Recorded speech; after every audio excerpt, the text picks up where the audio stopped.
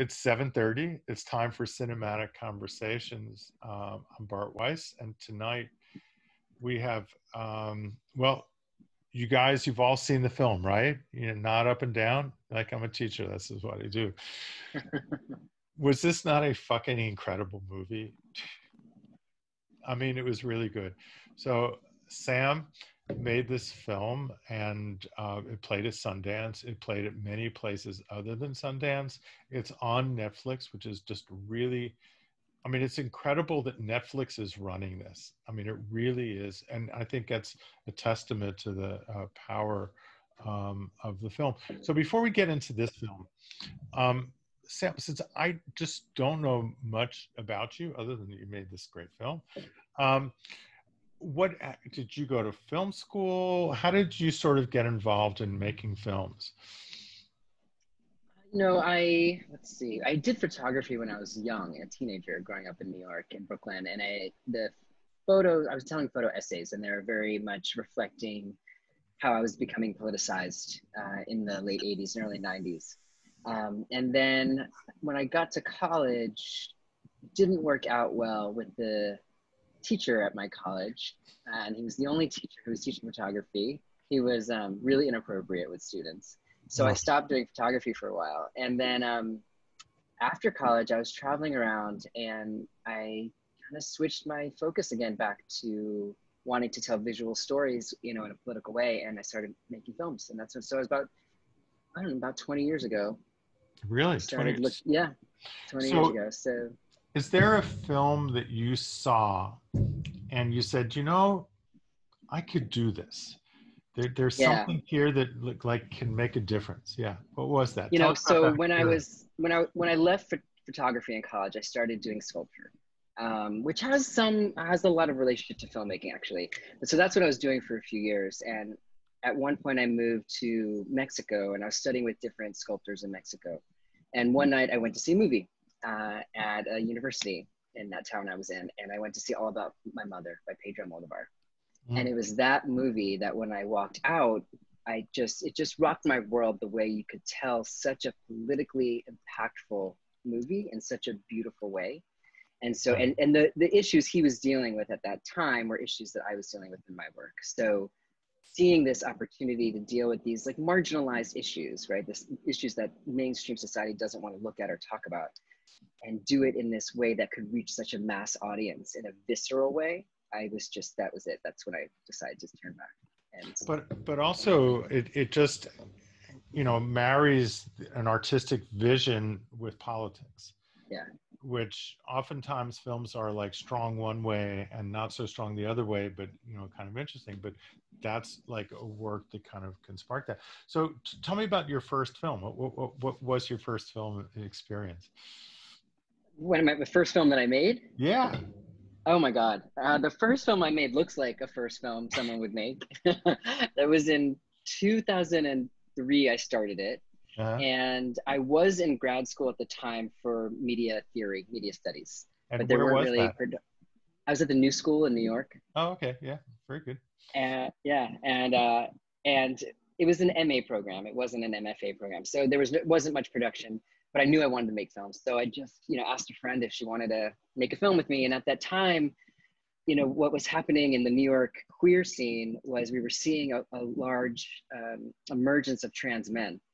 And the film looks at that emergence at that time in New York City. And there was a lot of backlash within the queer community saying that these guys were taking the easy way out. They just didn't want to be masculine women. And that, that just felt really amiss. And I wanted to kind of have a container for that conversation. So that first film looks at these, you know, follows these three guys through a, a, stage of their transition and talking to people in the community about this this sort of inner fight that we were seeing at the time, and putting that in historical context. So that was called Boy I Am, but it's very, it definitely looks like a first film.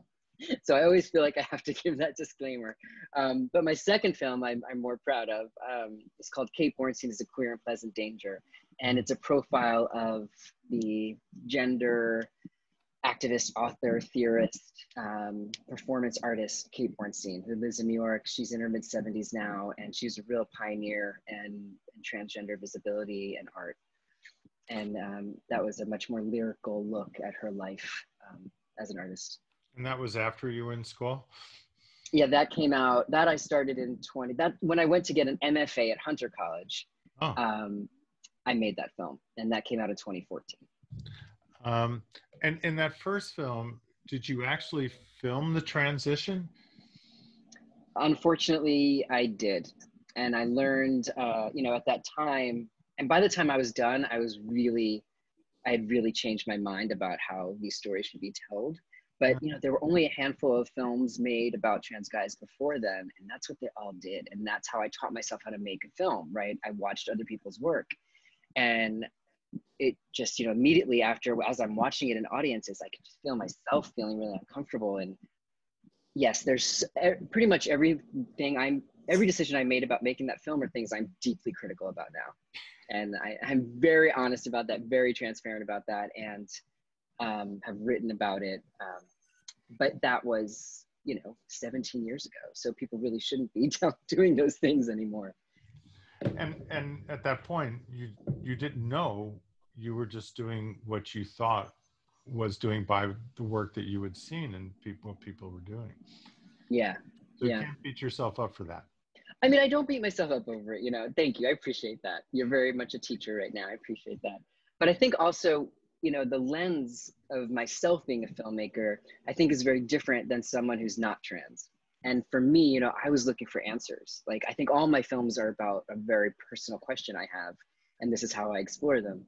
And so i was deeply curious about this experience and and, and i wanted to see it but i think it's what a trans person looking at these very intimate issues is very different than a non-trans person looking. So you know a lot of a lot of the questions that um, trans people say you shouldn't ask us it's very different when a trans person asks us than when a non-trans person asks us so Yes. That being said, you know, that's it's it's different framing, um, but it's not for mainstream consumption. I don't think. And and so so let's get to to, to the current film. So so yeah. um, when did you decide? I mean, it's very clear to me that these are issues that are very important to you, and everything that's in here are things you've thought about and have been thinking about for a long time. When did you decide that like it's time to do this? Let's just kind of get it done. Let's let's move forward. Yeah i mean you're absolutely right. I had been thinking about doing this film for a very long time. I mean um, one film that really changed my relationship to the media was ethnic notions which i'm sure you're familiar with by marlon riggs right? Marlon it looks Riggs, at one, of, one of my heroes. Same same. I, actually, I did a film about Marlon, and I have one of the very last interviews with him. Because you know he oh. uh, his mother was living in Fort Worth, and uh, he came to visit his mother to do some shooting for uh, Black Is Black Ain't, and I got oh, this wow. incredibly beautiful interview with him. But yes, oh, I would love to see it. I'll be happy to send it to you. Thank uh, you. Uh, but yes, uh, Ethnic Notions is uh, Marlon Riggs, this African American filmmaker who probably his most famous work is Tongues Untied, which is about being African American and gay, but it's done in a very sort of experimental documentary way. Ethnic Notions, which he made before that, was about how popular culture images have been framed of African Americans and what that meant to their life. And it was also done in a very beautiful way, but somewhat less experimental than Tongues Untied was. But anyway, go yeah, on. Yeah, it was super conventional in its in its format, but still radical in its content. And yes. you know, he followed that up with Color Adjustment, which yes. looked at representations of Black people on television. So it's really, really, it's a really um, cohesive now. It's it's a very robust um, look at, at the representation of media. You know and and i was so struck by ethnic notions because it's really a history of america right? It really tells you what was happening in our country you know when these images are being made. Um, you know so i just was constantly thinking about what would this look like you know what is what would it look like looking at this history of trans people? What would that tell us about the evolution of these images? And what would it tell us about society? Um, and what would it tell us about our country and our history? And so I'd been thinking about it for a long time. I taught earlier in my, you know, in the in my career, and I, you know, often would make little shorts about this issue for my students. But I didn't think it was something I would take on as a project like disclosure. But fast forward to 2014, and trans visibility was increasing, and mainstream society was talking about us in ways I had never heard before. And there were two things that were really disconcerting to me about how the media was insinuating that visibility in itself is the goal for a trans movement. And also that trans people were somehow something new. And so I felt compelled to give trans and non-trans people more context, right? To understand these changes in our culture, to have a better sense of the history and how we got to this point of visibility, all while foregrounding the fact that visibility in itself is not the goal, right? It's a means to an end. And visibility in itself is often really problematic, right? So the paradox of visibility is something we really, you know, go back, that's a tension throughout disclosure the whole time. Um, so I feel done yeah. very well in the film, and we'll talk about that in a minute. But um, so, so you aesthetically sort of have a sense that this needs to be done. Politically, have a sense this needs to be done. Yeah. How do you start to do pre-production for this and go out and raise money? Because this is not an inexpensive project, and get connections to the key people that you need to make this work so fun talking to other filmmakers about this because you ask the really fun questions. This is the stuff I love to get into. Um, so, you know, when I first it was like, okay, I'm going to do this, I thought I was going to look at all media, right? I was going to look at indie, I was going to look at international, I was going to look at print. You know, I really wanted to see it all. And, but I also knew that if I was going to tell this history, if I was going to, you know, dare to document a history on behalf of an enormous population, um, I couldn't do it in a vacuum. I mean, telling a history is so ethically precarious anyway.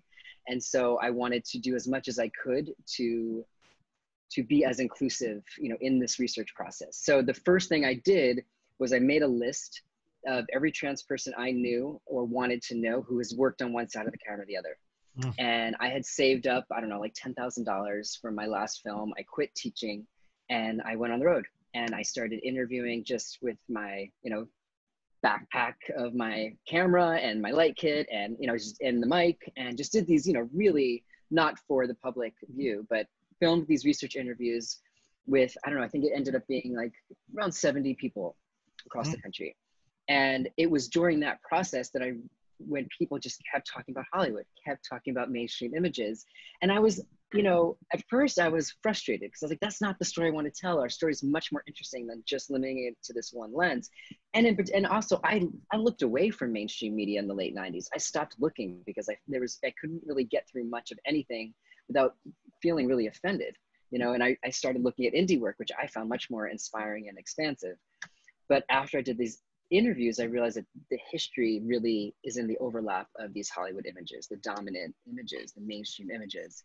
And so then I started collecting the data. And there was no book on the topic. Both Ethnic Notions and Celluloid Closet, that are sort of the mm-hmm. staple of this genre, are based on books.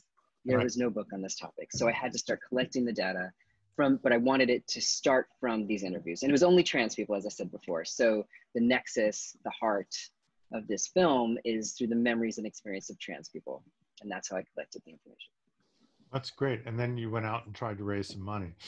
Oh man. it's such a, you know, from beginning, from from fundraising to distribution, if I had a dollar for every time someone told me they already have a trans film, like that would pay for the film in itself right? People think you only need one trans film to fund, you only need one trans film to distribute.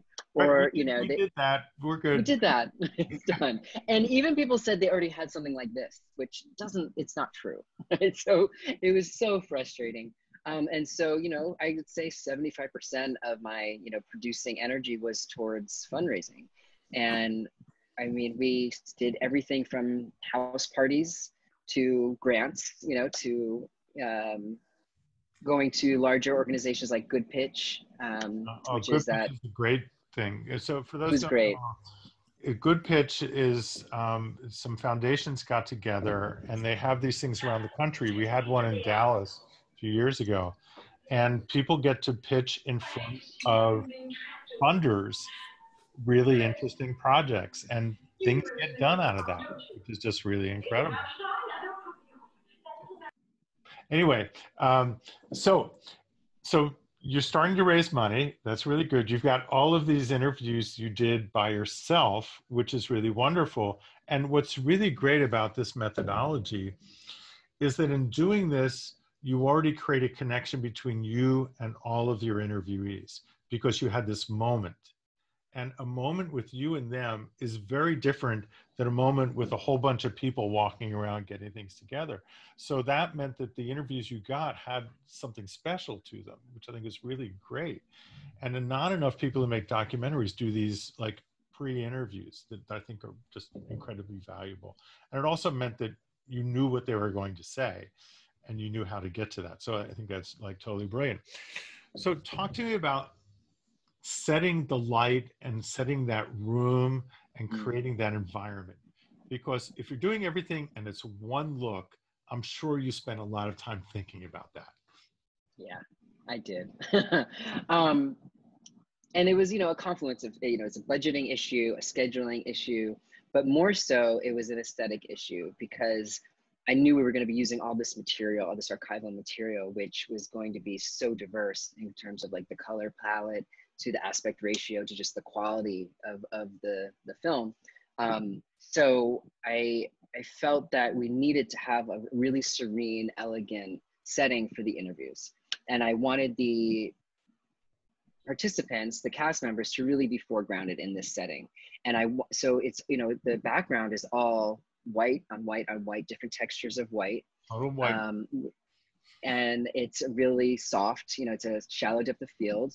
Um, and I feel like it also just gives the viewer this sort of resting place because we're, we're seeing all of this material for however long the film is 102 minutes and so in this moments where a lot of it is you know we really want to be focused on what the person is saying you know i felt like this was a really good container for that for those goals and i think it worked really well it was very beautiful i mean because you. you're right the the, the images themselves are so alarming and so powerful that coming back to that sort of neutral gave it kind of a continuity. I think, you know, just really kind of um, kind of worked with the film really well.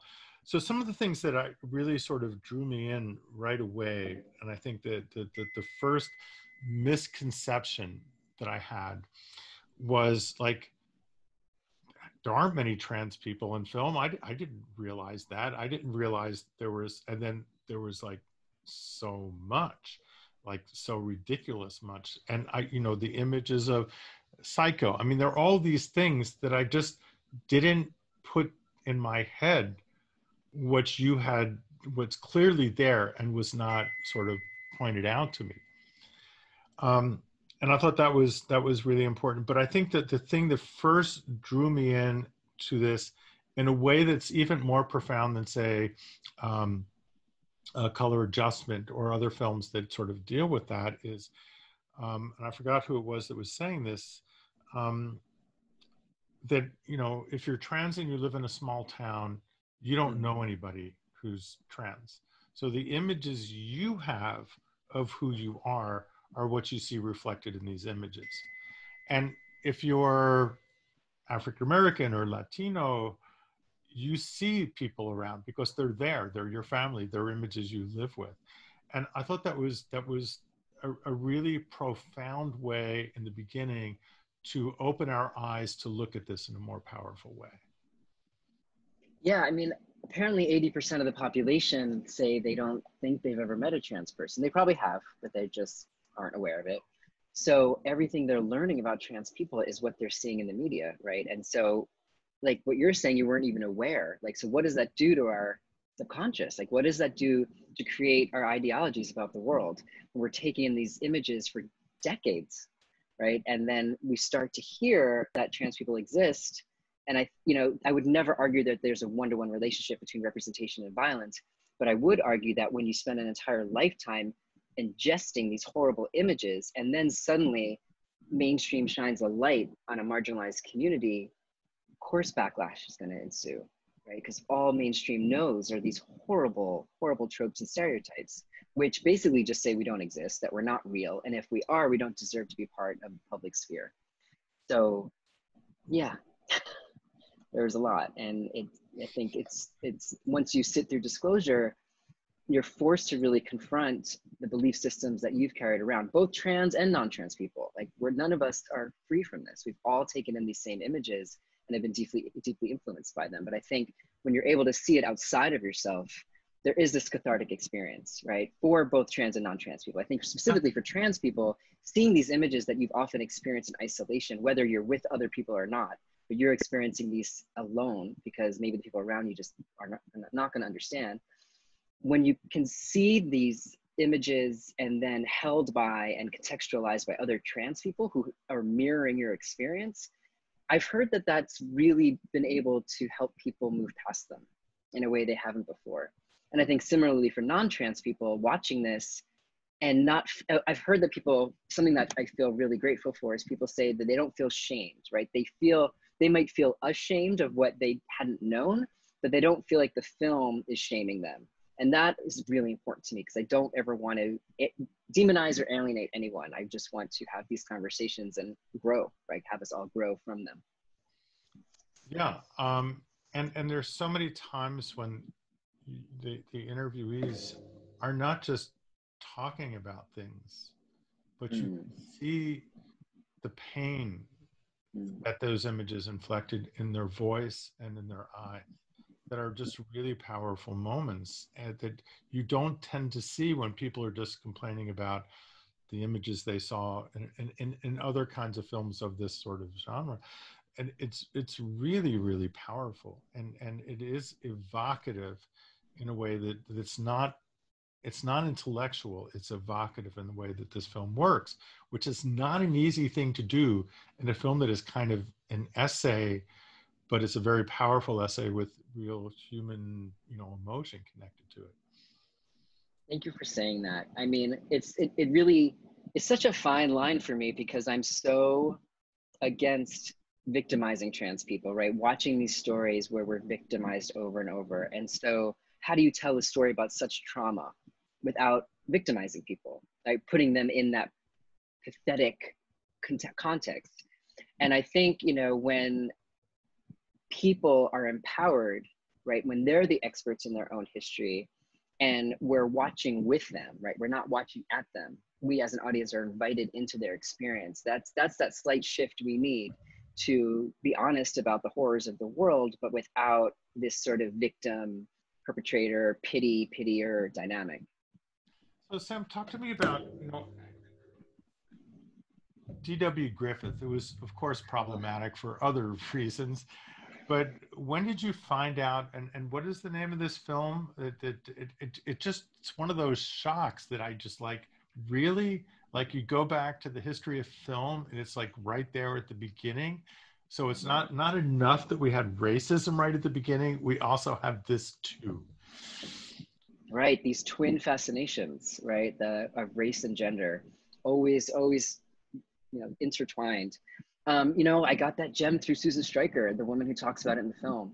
Um, she and I have been friends and have overlapped for many, many years. And at one point, she told me that story, and it just blew my mind. Um, and it, it affected me on so many levels. On one one level, yes, the horror, the obvious horror, and then also, but then on the other hand, I was like, also like, oh, that's kind of amazing. We've we've always been here. We have always been here, right? And we've been a site of fascination forever. So it's like it's that weird moment of like horror and humiliation and disbelief and anger but also this validation of you know we're constantly told that we don't exist but here we are like there we are. Um, and despite the fact that it's done horribly by this person that dare i say is a horrible person dw griffith um, it proves that we were in the minds of society. And so therefore we are you know there is another thing about the film that i think it happened twice but it, it, with paris is burning particularly i thought was really great and that you know you start to see it and it's you know a great film wonderful and you talk about how wonderful it is and to see these people. And then you you start to turn on the film and again this happens again with transgender. It's like isn't it great that transgender happened? But transparent? Transparent excuse me transparent. Sorry my, my, my bad. All yeah. the puns all the puns. Yes. Mm-hmm.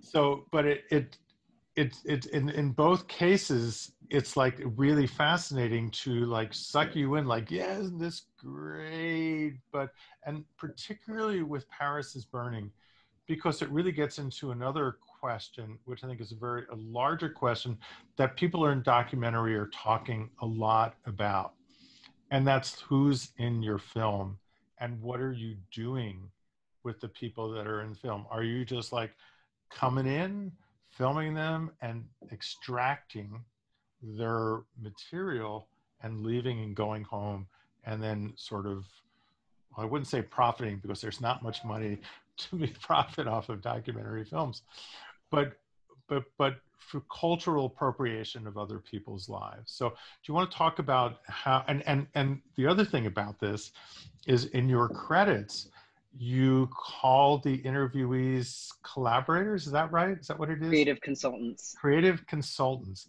And that's the first time that i've seen that in a documentary that these people they're not just saying these are the people i interviewed here they are but creative consultants and it really changes the dynamic of what you as a director think about your work and the value of the people in the work. And yeah, I um, to say about that. Yeah it's it's since i started making films i have always given i've always given people money. And the first film, it wasn't until we made a small sale that I was able to give anyone money. But it was a no-brainer to me. My, the people that participated in it, they have to be paid for their time, right? They are the experts. We pay experts all the time. Why aren't we paying people who are telling their stories, their own stories?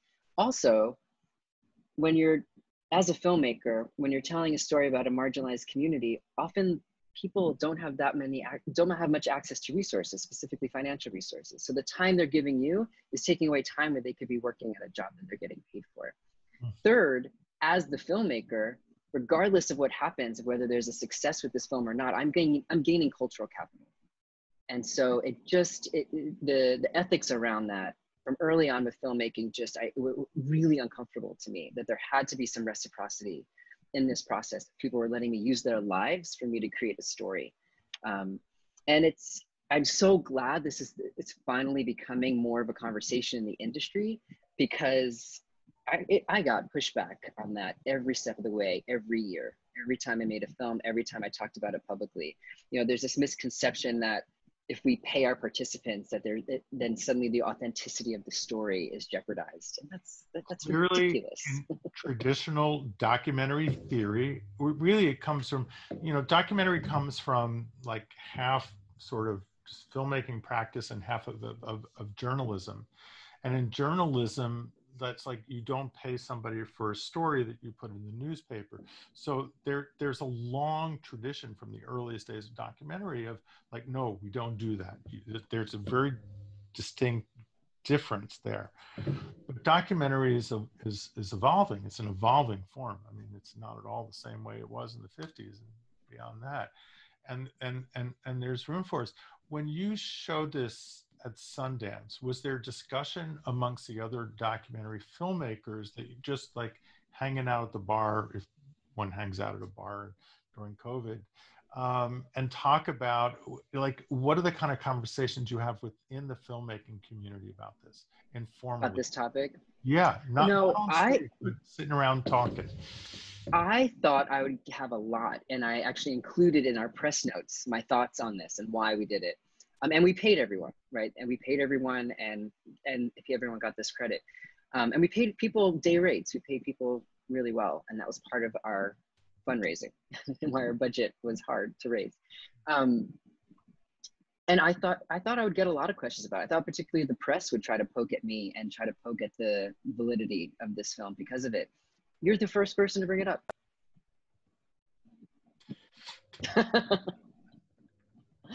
yep nobody's brought it up.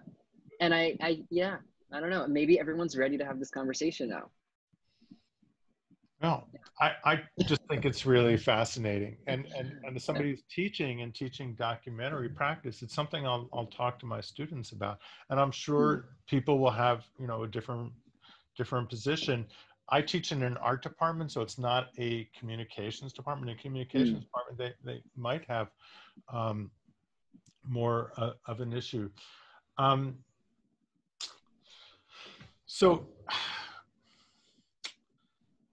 the um, one of the scenes that I thought was really most powerful was the one about Ace Ventura and and throwing up. Mm. Um, and you know, and trying to think about structuring the film. To me, there are many things that really hit you in a gut. Mm.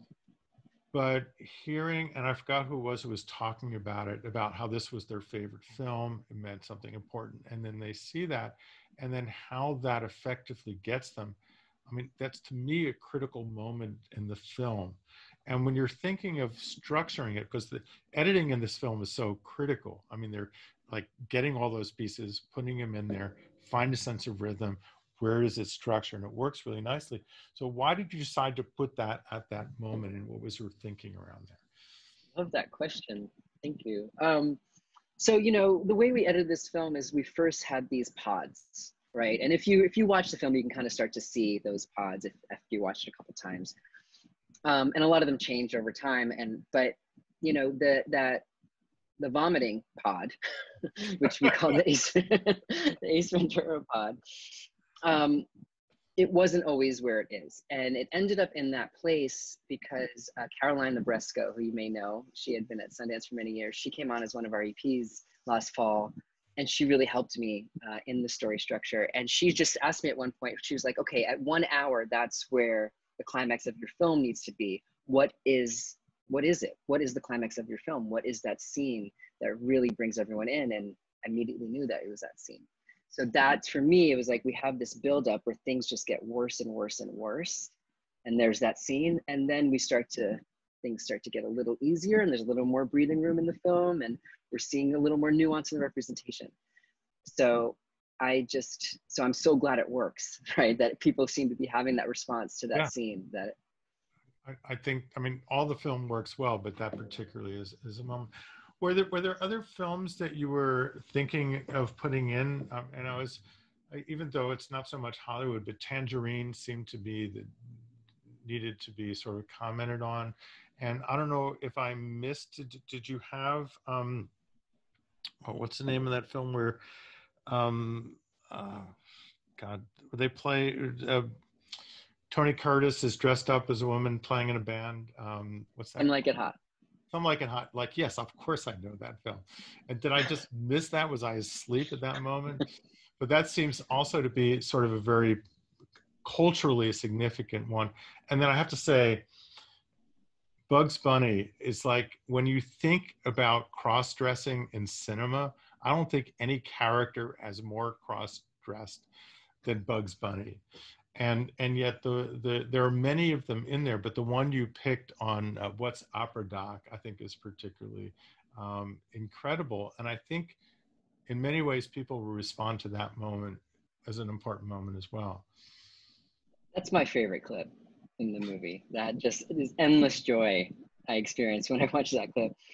Um, for some like it hot, you know, it's certainly people have asked me that, and early on it was in our in our database. But ultimately, you know, the way Celluloid Closet uses it, yes. Uh, they have that last scene where no one's perfect. I mean, there you can't top that. Like I, I love the way they used it, and I just I if I was going to include it, I would have to include that scene because it's so important. Mm-hmm. And I, I didn't want to, it just felt like a carbon copy. And I didn't want to do that. I felt like that wouldn't be respectful to the celluloid closet. Um, and, you know, we had so many other films that can kind of right, right. tag on to other shoes. It's like the films you put in are ones that make a case about something or something that somebody talked about and meant something to them. I mean, in yeah. a sense, it's about what the characters were responding to less so much than the points you wanted to make i think absolutely. There were touchstones that that we came up with beforehand in the research that and then laverne came in and you know we collaborated on certain touchstones that we really hoped we would get to. But we did want to lead with the anecdotes with the personal stories. So we did want we, we would see what would come out of these interviews and then build on that. Um, tangerine we do have a clip of tangerine in the beginning. Oh. Um, and for films that didn't come up naturally in these in the interviews, but we felt were important, and I felt that I could put them in responsibly without a critique, then I did. And so Tangerine is an example that I, I felt I could get, I could put it in without having a nuanced conversation about it, and in the beginning of the film, there is a, a clip of Tangerine. There was there was a point in the film where you're talking about many trans women. They have to go out and and and it just seemed like that was that was what that was at that moment. Um, or somebody wants to come in. Um, so um, guys, do any of you have any questions? I have more questions I can ask, but um, this There's is, questions in the chat box. oh, there are questions in the chat box. Okay, Nate, do you want to read your question? Where is Nate? Is Nate here? There you wasn't really a question. I just had a few. I also like All About My Mother. That was one of the first films Mm. that was the LGBTQ theme that I Yeah. started to see all that stuff uh, could be in films. Um, and then my other one was essentially everybody hates on D.W. Griffith, which is understandable. Uh, I just I sort of recently found out about Elise Guy or Elise Guy Blanchet, who was a filmmaker Yes. before Griffith, and one of my students pointed it out recently, and I was like, oh yeah, of course we need to. And nobody, no other film professors talk about her, and so I just wanted to include that because it was because you mentioned Griffith, of course. So maybe There's a great start- documentary about her now. Yes, there's. Yeah, on Can it's on Kanopy. If Yeah. that's the one you're talking about. You should Um, definitely show that to your students. And and let me just say, in in, in I guess defending the undefendable, um, because I went to film school. I got my graduate degree at Columbia, an undergraduate degree at Temple University, and I and I watched films by white straight men, and that's what I watched, and that's what I learned. So when I'm teaching, I teach the films that I know and and and you really have to and i didn't know about any of those films until that documentary came out. And now i start to begin and now i start to challenge all of the precepts. And and it's like i'm i'm working on you know a list of i had a list of, a film 100 films that film students should see. Mm. And then I started to build out to 150. Now it's a 200 because I'm trying to make the film, the list more diverse. And um, I'm trying to share it with other film teachers because I think that like changing the sense of the canon is really kind of important. And and and and just to sort of again defend the in, indefensible, I I truly despise what Griffith did, but what Griffith did for film language and and and how we understand and appreciate film is clearly important. But we don't have to show birth of a nation. There are many other films that can show what he did in terms of language uh, that really sort of do that. Or you can show that with a film that reclaims the image. And there are several people who've done sort of mashups that sort of talk about the images that are in there and put them in a different perspective. And that's Just another way to sort of deal with that I, I hear you, I do, and I understand. And I I wonder though, because I've heard some people say that someone else might have come up with these ideas if it weren't for D.W. Griffith, right? And so when we look at early film, we could probably find another film early on that exemplifies, you know, the language, you know, that you're attributing to him without perpetuating the the racist ideologies that watching his work, you know, puts into the world. And right nobody really needs to see it anymore, right? We know it exists. I don't believe in you know, like burning it, but I'm not sure it needs to be in the. Can- I don't think it needs to be in the canon. I don't think it needs to be taught. And if it is going to be taught, it has to be taught with all this context, right? With all the detail and all the criticism. And I, I really do think that there is this work to be done in academia to create a new canon. Yeah. Um, and I think that's a, like a great project for somebody to take on, and uh, and to find a way to like get connected to all these films so that it can be seen in classrooms, but put into a kind of sense of, of context. So that means we wouldn't necessarily have that. Um, do you have any other questions from from any of y'all? Um, usually people have lots of questions. Um, I could ask another one. Good. Uh, Sam, how do you, you I mean, we kind of you kind of talked about this a little bit, but how do you feel about if a straight cisgender man directs a movie with trans characters and and I mean, in the uh, kind of along the lines of that. Some there's a question somewhere in there. I mean, I, I, I have complicated feelings. Um, I, I don't believe we should only make art about our own experiences. Like we don't want to live in that world, right? But I do believe the artist is responsible for the work they put into the world. Mm-hmm. I deeply believe that. And we're responsible for how it affects other people. And not everyone feels that way. A lot of people think the artist is only responsible to their own vision. Um, so if, you know, a, a cis, white, straight dude is really passionate about this trans story, I, you know, I, he has to do his homework. And if he doesn't, then shame on him. And he should not have the privilege of telling someone else's story. Um, that being said, I also just, you know, we don't, we live in a world where the power dynamic is such that trans people are disproportionately underemployed, disproportionately lacking access to housing. I mean, we know the murder rates for trans black women are exorbitant, you know, it's an epidemic of murder. And so when we live in a world that exists in that power dynamic, I, I, think trans people need to be given like to need to be at the center of telling their own stories. Um, and if someone thinks they can do it better i think there's a problem right in, with that. Um, and so when when we talk about and if that person this mythological white cis straight guy um, you know says well i'm hiring you know i'm bringing in a trans producer or i have a trans editor or a trans consultant that you have to put the trans person in a position of power right? And that is in the in the creative decision making and that is as a director. So i say let's support trans people to tell their own stories until we see a shift in the power dynamics in the country. So talk about boys don't cry in that context. In in the sense of a non-trans person telling that story? Yeah. um you know i would rather talk about systems okay. than individual people all right because that was that was an, an, an interesting uh, part of the film. I, you, yeah, I think I, I make my views clear in the film, um, but I don't want to demonize individuals. You know, um, I think the decisions made in that film were done for reasons I don't know. Um, I have my critique of it, um, but I also was very careful to show that that film was very meaningful and important to a lot of people and positive for a lot of people. Um, but yeah, I don't want to I don't want to critique an individual. I'd rather talk about the film and the system.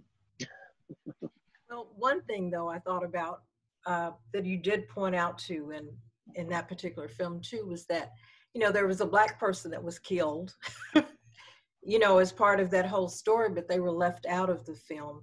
And so many times there's that minimization of something for people of color, and even yes. in it's the women's movement, the LGBTQ movement, everything. Um, yes. And that's always an issue. So I was glad to see that you brought that out, that you did, you know, mention that I think a couple of times in different ways.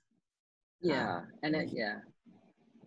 Yeah, it's, it's, it's heartbreaking. I mean, it's, it's, you know, it's something very few people know and recognize. And I think because I saw the documentary before I saw the movie, you know, I knew the details of, of the issue. And so it's just, mortified and again i think this is it's less about the individual director and it's more about how our society prioritizes stories and you can't there's not enough room you know for for that many marginalized people you have to pick um, and you know i think Tiq really sums it up beautifully when he's saying you know you can't have a trans person you can't have a black person so what does that say about his black trans ass you know? And i think deep and it's like there's no room for him to exist and it's, it's very good. I mean there are so many s- snappy comments in the film and that's like one of them i thought was really really really great. Um, do you want to talk about like getting i i know that because of fair use you're able to use an awful lot like this film could not have been made like 15 years ago when that material was not but were there any that you had trouble like actually getting the print of? Because part of the problem is you have to like get a good copy of the material, and sometimes that can be a challenge. Were there any other films that were sort of difficult? Yeah, my understanding of fair use is you you have an argument uh, of why it falls into the fair use. You have uh, a lawyer watch the film and detail that argument for every single clip Yes. And then when that lawyer does that, you can then get insurance. Yes. And then you can use it. You never ask the studio, so you're never asking for a print. So this was all material we found on our own. Yeah, well, it's very good. And I think you had the, the Donaldson group do that, and they're the best. Yes, they are the best, and they're such good people. I Yeah. adore them. Uh, you know, they did a lot of the early research to make that stuff happen, and they do it for the right reasons. Like Yeah. they love to be able to take something and like, let's get this and use it. But they'll also tell you you need to take two frames off of that. Oh yeah. like that's good, but just a little bit less, and I think you know that would make it uh, so much better. Uh, Ruth, do you have any questions uh, for Sam here? Ruth, are you still here? Ah, you're just you're calling me out there, Bart. Yes, because, uh, Ruth, who's who's coming calling to us from Buffalo. Hi Ruth. And From jumped Buffalo. on from another going webinar to webinar today. Yeah. Um, so, uh, well, I was just gonna. Um, I I missed. the- I don't. I don't feel qualified to ask any questions because I missed the first part of the um, uh, your presentation. We just talked about you, Ruth. and uh, no one even knows who I am, Bart. Um, but um, but anyway, I you know um, I I did just want to um, agree with you. First of all, um, thank you so much for making the film. Yes, thank Um, you for making the film. Yeah. Um and it's so needed and and I you know, I think that um whereas in the past um those of us who are part of uh, members of marginalized communities uh, we weren't in a position to be able to make the films and so those films exist you know there are films that exist and some of them are terrible and then some of them there there are things that are really um you know redeeming and interesting and worthy of of study without traumatizing us and our students. Um but um uh, but I think at, at this point in time, I mean, I really agree with you that uh, we have to tell our own, we have to be given the power to tell our own stories. And and i think that um and you know so your film is very unique. Um eh, i mean you tackled so much in your film. And um and and i think that's another thing that we run into those of us working um, from marginalized positions is that you know when we're, when we're the first to make something um everyone expects us to do everything with our film um and uh and so um anyway i mean so i just wanted to extend my thanks and my congratulations. Um and i also um in addition to to being a filmmaker and teaching that um, I also um, run the Women in Gender and Sexuality Studies uh, um, at my at Buffalo State where I teach, and um, and so I'm always so grateful because I'm able to use films like yours uh, in the classroom as well. Thank so you. and it's appreciate that. especially good. It's especially wonderful when things are on Netflix because almost all of our students have Netflix. So so Yeah. we have access that way. And then I also run um, I also run a screening series that's focused on diversity at Buffalo State. And because Netflix allows you to to screen their films too, I'm able to get films like yours out to a wider audience as well. And, So- and a film like this really can open up the eyes to what is possible and doable. Mm. And I think Why do you say that? it's a very, very empowering thing to, to, to hear the people in your film talk about what these images meant to them Mhm. and then to string them together. And again, if you're like the only trans student in your school and you're watching this and you're feeling like, oh, there's more here, it sort of gives you hmm. confidence to sort of take on those ideas rather than to try not to have the faith in yourself to move yourself forward. Because sometimes people are, if they're not given the right encouragement, will easily like try to emulate what other people are doing rather than to do the things they need to do. And I think this film gives people the encouragement just take that step forward and to do the thing they should do. Such a wonderful thing to hear. Thank you. So um, let me ask you this, because it's something you generally ask to people. Are are there scenes that you took out that you wish you didn't have to take out? Are there sections in this film? Because I'm sure the first cut was like probably 30 minutes longer, and uh, things you had to uh, to to trim out that just for flow or other reasons just were not you're not able to sort of put in. We managed to have our final cut under two hours, um, and our, our first cut was three hours. it was much, much longer. Um, I mean, there's so many things we didn't get to include. I think I collected over 600 television titles and 400 film titles. And there's so many people we didn't get to include. But there was one scene that really, I think, got cut at the very, very, very last minute because it was too long and we couldn't it didn't have the same impact if we trimmed it down. And it was this scene that talked about this three episode arc in all in the family the norman lear television show from 1977 and it's the scene of, uh, that includes this woman named beverly lasalle who the show doesn't quite know is if she is trans if she's a female impersonator if she's drag like they conflate all these ideas um, but ultimately she's killed uh, and she dies. And um, there was a conversation among our interviewees of how this show seemed to put the decision upon the the cis man. Um, what's the protagonist's name? Uh, Carol. Carol's Archie name. Bunker? In the, Archie. Archie Bunker. Right. He yeah. gets to decide whether her life is worth saving or not. Right? And That's the question in the so film. great, right? Right. Like, like yes. And well, we and have so, one in the you White know- House now. That's Yeah, right, yeah. I know. That was couldn't have made that connection. Um, so you know, the this story seems it's like it shows the the love of Edith, right? And she's like the moral center of the show. You know, she's very religious and she she loves Beverly and considers her sister and her friend. And when Beverly is killed, uh, Edith starts to question her faith.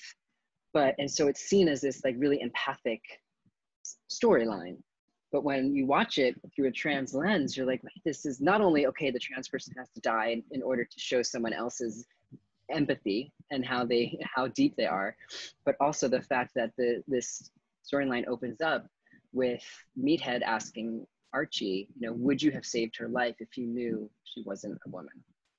And so um, it was a really impactful scene uh, but it took us too long to get to it. But Netflix asked me this question when they were doing promotion, and they did a video um, incorporating that scene, uh, and Laverne and I talking about it. So if you go on the Netflix uh, Instagram, you can Okay. find us talking about the scene, and we we gave them the clips to, to kind of. Um, Kyle has a question here. Do you want to do you want to ask that, Kyle? Or Kylie, excuse me. No, Um, it's okay. No problem. No, I was just saying I just wanted to thank you, Sam, for putting this together. I'm um I'm trans and like I'm like super nervous talking right now. So um I just wanted to say thank you so much for doing this and um it means a lot to me and just really gives me hope for you know what I'm pursuing and yeah, I just from the bottom of my heart thank you so much. Thank you. Thank you for Yeah. sharing that with me. It always I, I love to be able to share these this, these conversations with other trans people. So thank you. So, so Kylie, are, are you're a film student? What are Yes. you working on a film now? You want to tell us what you're doing? I am. Um, I'm working on um, trying to get it all lined up, but um, it's about it's the love story of uh, me and my partner and how um, me coming out to her and just how she was just she had inclinations of what I was going to tell her, but when I finally did, it was just like so powerful. She, without dropping a beat, she's like, I I'm pretty sure I know what you're going to tell me. And just so you know, I'm 100% on board and I'm not going anywhere. So it's just basically me finally building up the courage to tell her the personal struggles, to, you know, letting finally realize, well, not finally, you know, accepting myself for who I am and then just finally getting the courage to to tell her and just the struggle to get there. So yeah, that's what I'm working on. It's going to be my senior, my senior project. So, um, which I will love be that. next year. I love that. We need more joy. We need more love Mhm. stories, right? Trans Yeah. people need to see these possibilities, right? We, we, how do we know it's possible if we don't see it, right? And Exactly. so please share that film with me when you're done. I would love Yes, to see it. And if I can be of any use while you're making it, please let me know. Absolutely. Thank you very much. And Kylie, if you need me to look at a cut, um, I'm easily findable. Oh yeah, absolutely. Yeah, I'm. I got this script pretty much where I want it to be. I have some adjustments I need to to make, but um, yeah, it's it's about it's about there. So now it's just moving it into the the next phase. So Well, Sam, I, unless anybody else has any other questions, and anyone, anyone, I, I'm really so happy that a you made the film and the film is so good and so impactful. I'm happy that Netflix picked it up so so many more people can see it and people can share it with each other. I, I think that also, um, I mean, this. I think this is the most visible film that treats the subjects as collaborators in a key way. And I think that that's a small thing, but it's visible and it's out there. And I think that's going to change the conversation for some people. And I think that's a really great thing. And I want to thank you for coming and hanging out with us for, for an hour. I mean, I'm sure that most of the Q and A's you do are like 10 or 15 minutes. And This Uh, was such a joy, Bart. Thank you so much for, I mean, you're, I, I wasn't, you know, I- it was very honest when I said these questions are great. I love this. I love this conversation and your reflections and the details you've noticed just mean so much to me. Um, and this, this was really a pleasure. It was really a joy to speak with you all.